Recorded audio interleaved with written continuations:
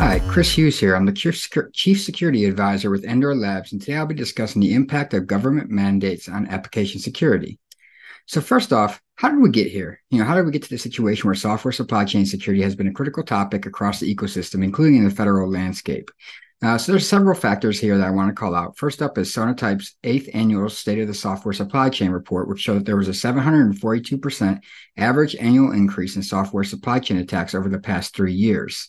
Another study here that was titled uh, Quant's View of Software Supply Chain Security shows the rapidly increasing number of attacks over the years, you know, especially in the last, say, five to eight years when it comes to software supply chain attacks. And there's various reasons that this, been, this has been happening. Uh, among those is the fact that malicious actors have been giving more and more attention to the software supply chain. Uh, they've seen that there's a, a, more efficiency when it comes to attacking software supply chain entities, whether we're talking proprietary software vendors, or uh, open source software, uh, third party components that are used in uh, applications across the ecosystem, for example, is a higher return on investment. I can attack a, a, single organization and just compromise that organization, for example, and their environment or their data, or I can target a, a large software supply chain, a provider, a software supplier, or manufacturer, or a widely used open source software component, for example, and have that cascading impact downstream across the entire ecosystem of consumers and customers that use it. Um, we'll be talking about that more moving forward. Also, the supply chain has been often overlooked when we think about cybersecurity. Uh, for example, there's been a longstanding push to you know move things uh, to the point of having a zero trust environment. You know, as we hear, no no more queuing centers uh, moving away from the legacy approaches of like kind of the perimeter based uh, security model, the castle and moat type model. Organizations have been bolstering their own security practices and processes and organizations and things of that nature. Uh, but if you can compromise a single entity, a single you know widely used software supply chain entity like a, a large uh, proprietary software vendor or widely used open source software com- component, for example, you can have that downstream cascading impact across thousands of organizations, millions of users, and it's just far far more efficient and far more enticing for the malicious actor, for example.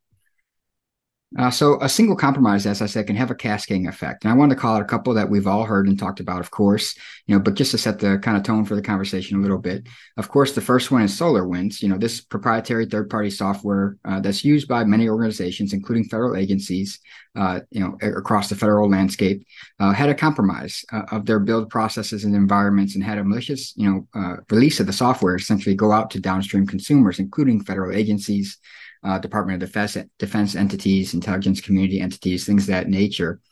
Uh, but of course, those widely used uh, open source software components, for example, uh, like Log4j, is another big one. And this one's interesting because you know not only does it impact organizations and enterprises that are using these components themselves and have to go and kind of scour their environment to see where it is, it also impacts you know most large uh, software providers like think about the amazons the microsofts uh, you know uh, uh, the widely used proprietary software. They're all using these open source software components in their applications as well.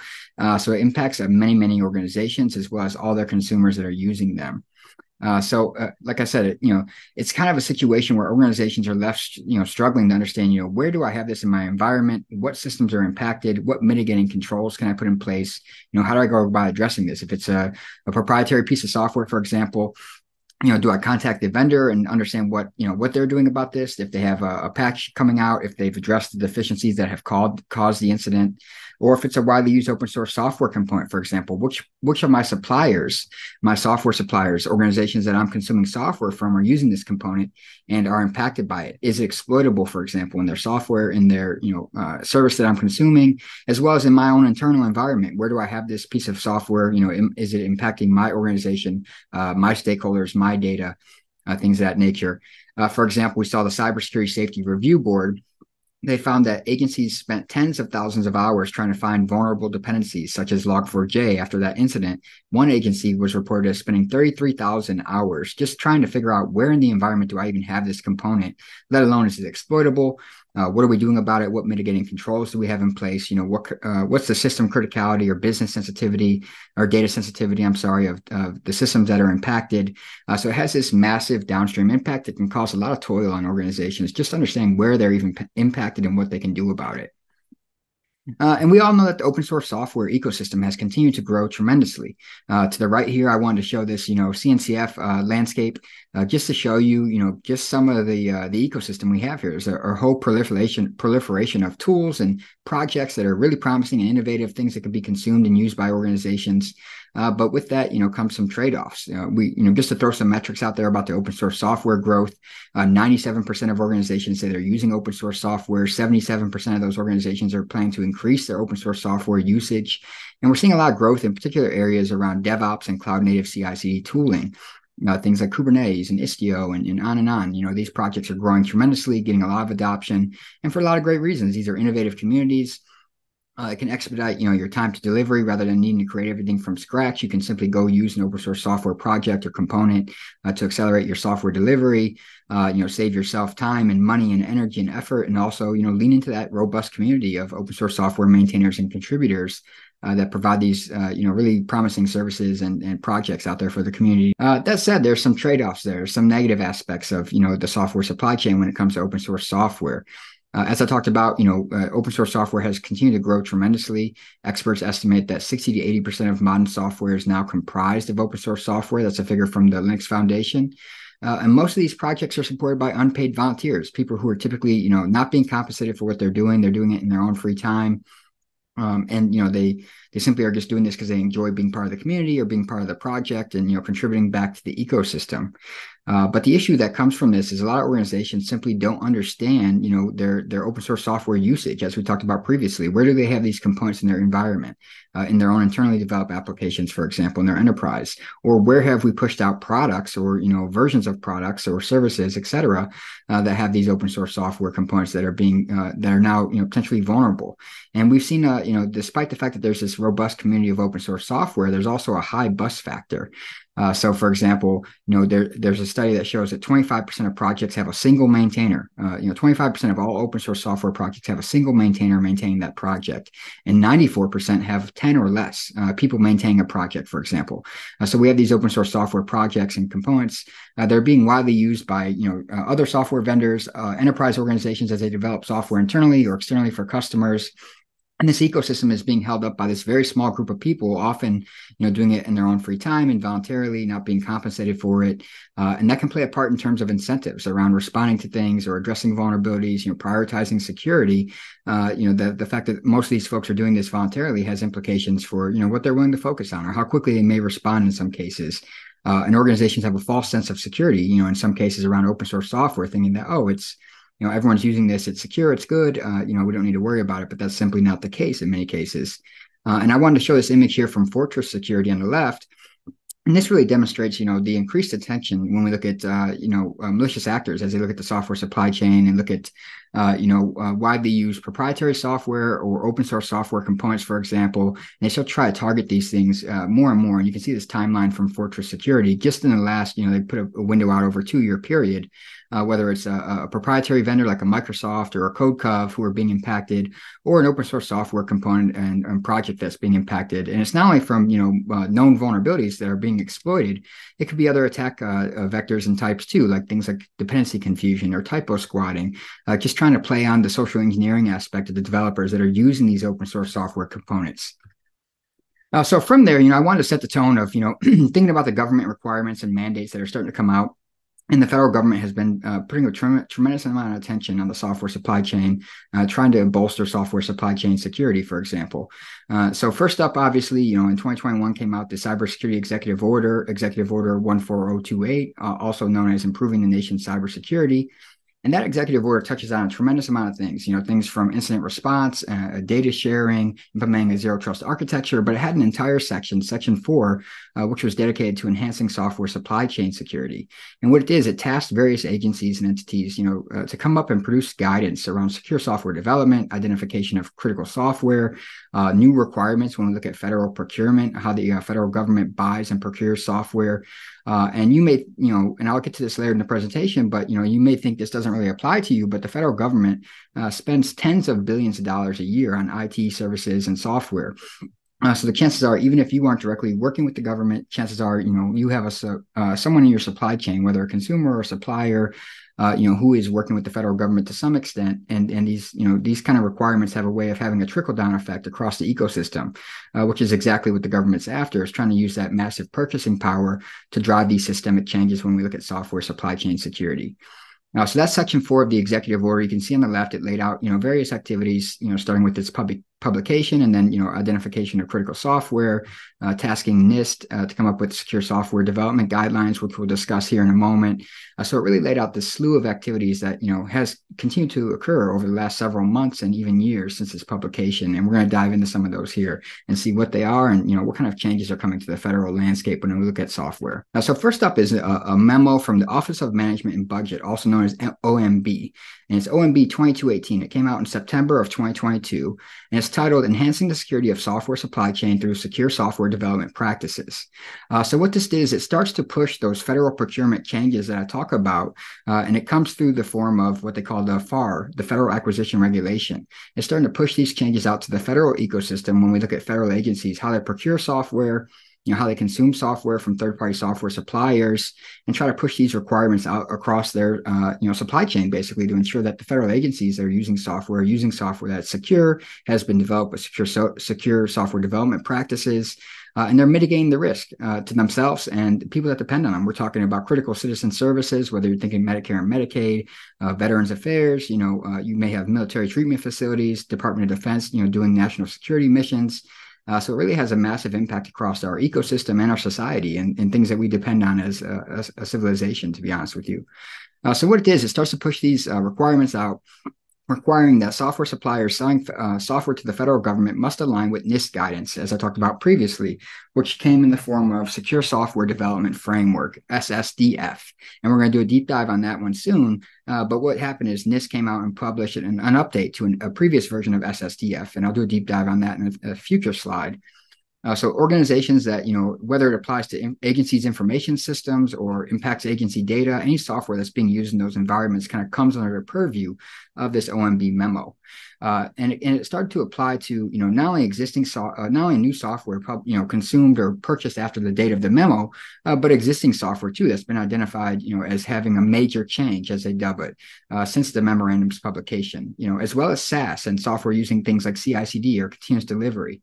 Uh, so you know modern software development practices and delivery mechanisms it, it applies to those as well you know obviously there's some nuances to what will be a major change uh, and i'm sure that there'll be some you know gamification from software suppliers and agencies you know to kind of what categorizes as a major change or not to maybe delay the impact of these uh, these you know requirements on their on their suppliers or or the burden it may cause. But you know that's the uh, the word that they used in their publication uh, another interesting aspect of this memo is it actually required the suppliers to address uh, security of third-party components, open source software.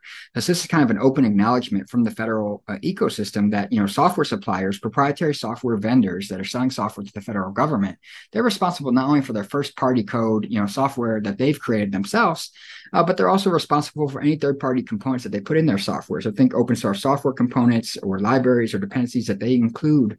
Uh, they're required to take you know appropriate risk uh, management measures and governance around those open source software components.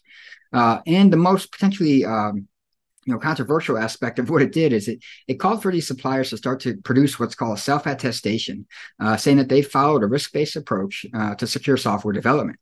Uh, so that means that you know software suppliers are going to have to start signing a, a document, you know, going on the record saying that yes, we are using secure software development practices uh, when we produce this software that we sold to the government, whether as a SaaS or whether as a, a you know self-hosted uh, proprietary software software that will be hosted in a federal uh, environment or consume uh, and interact with federal agency data. Uh, we have followed this, you know, secure software development framework as it's been prescribed. Uh, and agencies also are able to, you know, uh, produce, uh, require other artifacts from these software suppliers, things such as a software bill of materials, for example, or wanting to see source code integrity measures in place, or seeing that the software supplier has a vulnerability disclosure program in place so that, you know, we all know that vulnerabilities will occur no matter what. Uh, but do these software suppliers have a vulnerability disclosure program in place so they can notify the federal agencies that are consuming that software? Uh, and it also allowed for you know some deficiencies or deviations from the requirements uh, of SDF, SSDF and the other requirements it points out. And it uses the term uh, Plan of Action and Milestone or POAM, which is just a, a way that the federal government kind of documents deficiencies uh, uh, aligned with you know their federal ecosystem, their systems, their data. You know, say you can't implement MFA or you have some challenges around you know implementing uh, source code analysis, for example.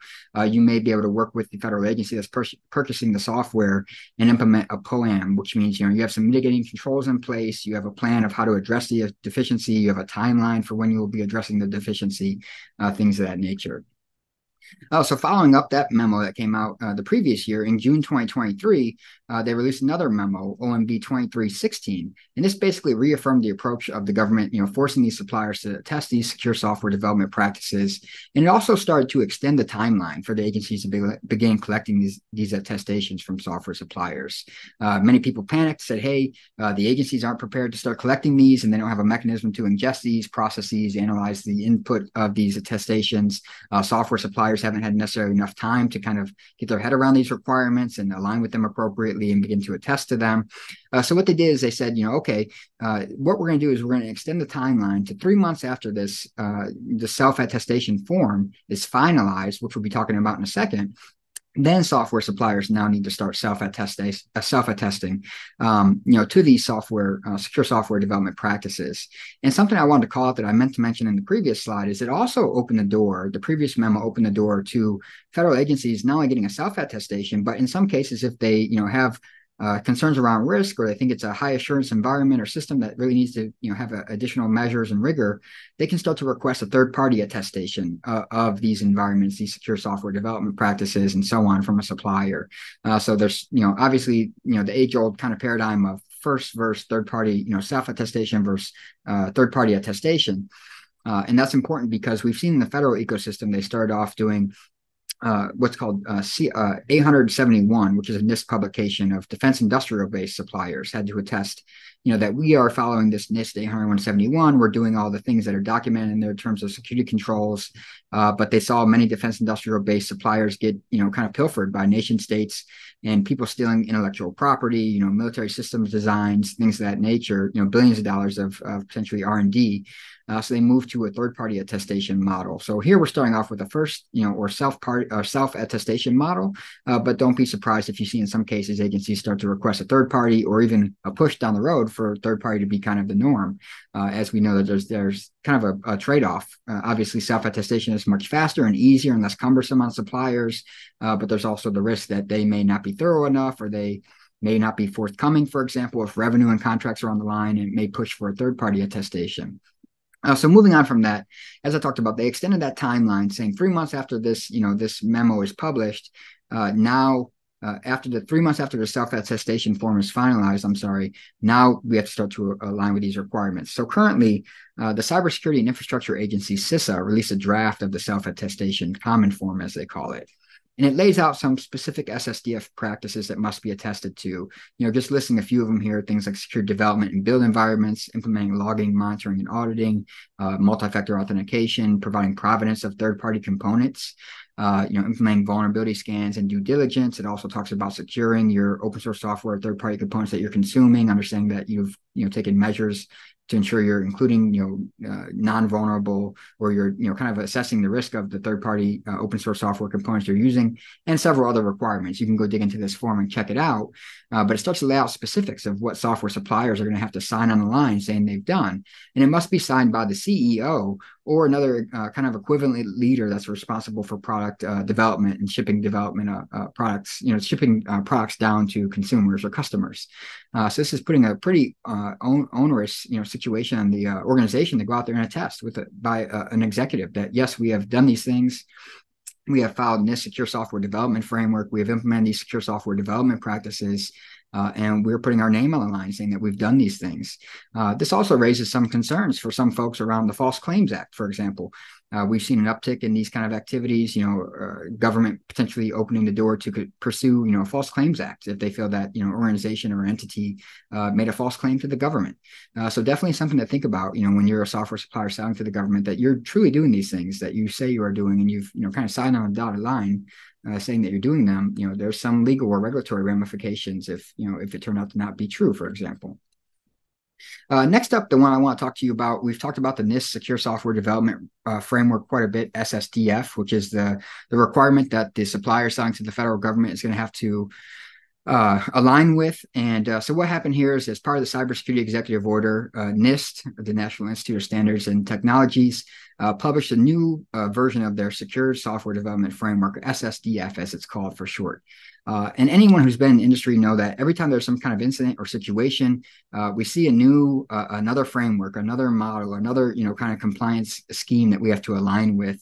And luckily, in this case, OWA, or, NIST, I'm sorry, they held various workshops with the community and they engaged with academia, industry, and others. And what they did is they rallied around existing frameworks and, and models in many cases. Uh, things like OWASP uh, Software Assurance Maturity Model, uh, OWASP-SAMM as it called as it's called, or Synopsys uh, Building Security In Maturity Model, among many others that they they uh, cite as well. You can go dig in and see how they cross they cross reference essentially these practices to existing frameworks or existing models that the industry is familiar with and using to produce secure software. And it's thought to address the fact that you know there's very few software development lifecycle models out there specifically focused on software security. So they're trying to address that gap.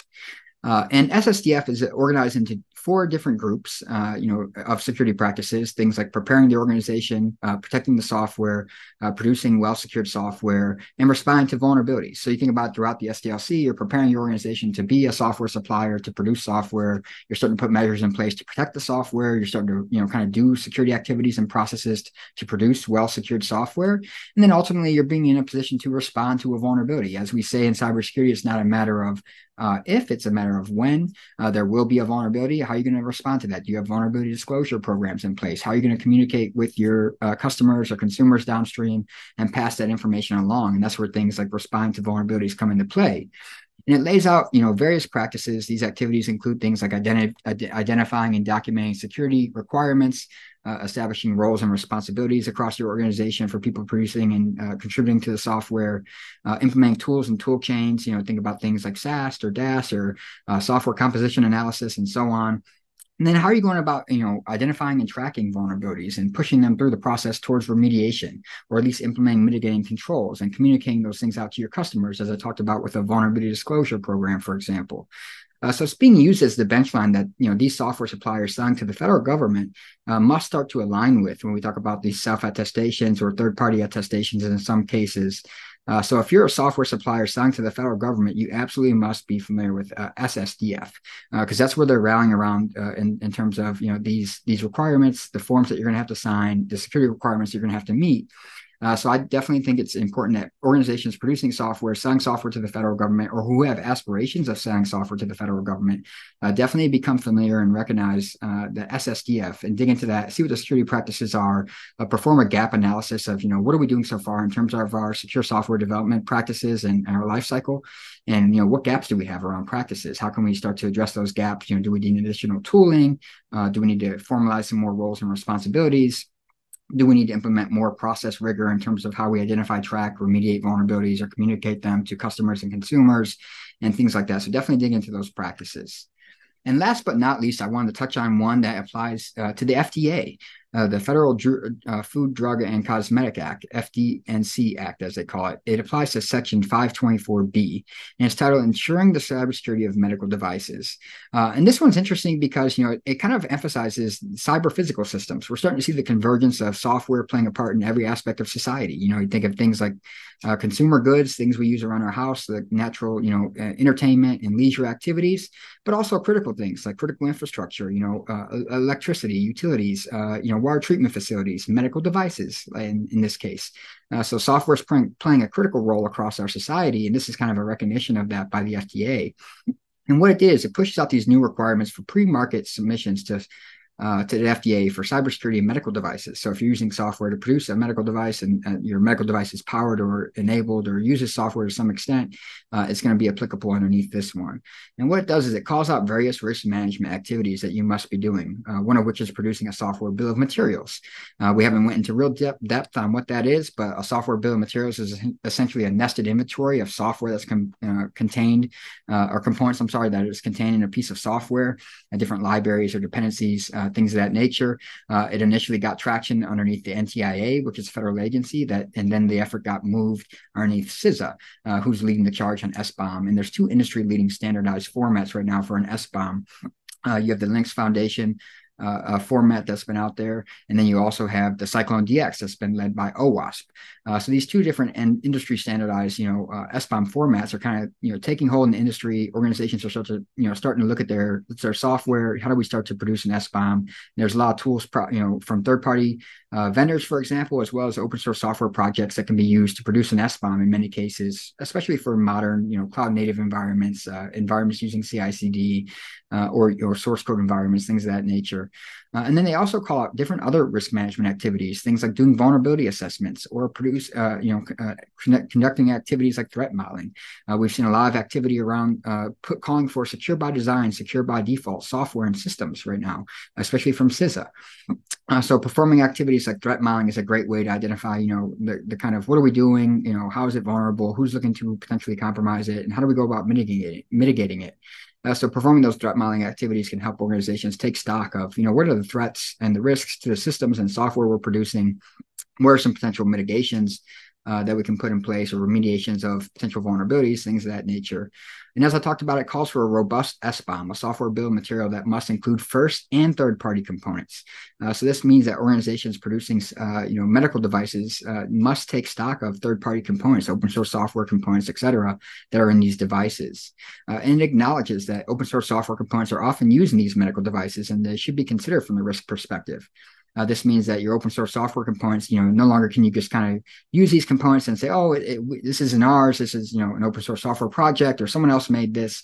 You're integrating it into your product. You are now responsible for it. And that same kind of language is emphasized in the OMB memos, acknowledging that software suppliers are responsible for the third party open source software components they produce in their products. Because uh, you're pushing that risk essentially down to the customer, to the consumer. Uh, and the suppliers, these manufacturers and vendors, are in the best place to do something about this. They're the ones integrating these uh, third-party components. They're the ones in the best position to kind of mitigate the risk and select, you know, secure p- components, whether it's known vulnerabilities or widely used uh, components or components that have, you know, hygiene around their their uh, environments and how they allow people to contribute or authenticate, et cetera.